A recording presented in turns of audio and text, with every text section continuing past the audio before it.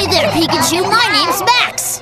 I watched you compete at the Silver Conference live, and then I've been watching the videos I made of it ever since. Wow. Yup, you lost in the second round, and then You have to keep talking about the ones I lost?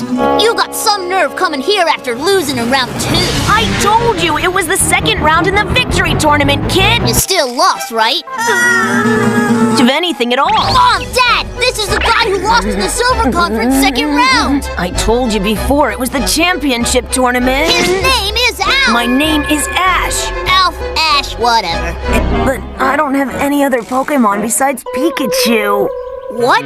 You've only got one little Pokemon? No wonder you lost in the second round of the Silver Conference. Stop! It was the championship!